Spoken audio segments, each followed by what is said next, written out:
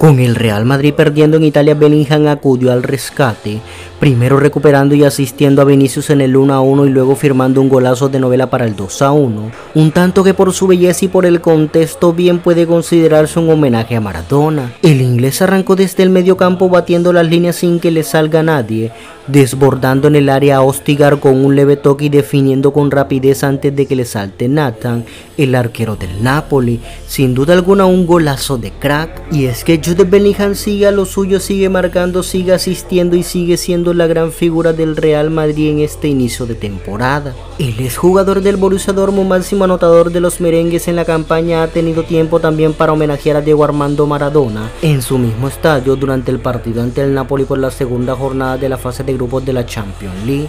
Sin duda alguna Jude Bellingham está siendo la gran revelación del Real Madrid y lo demuestra en cada encuentro.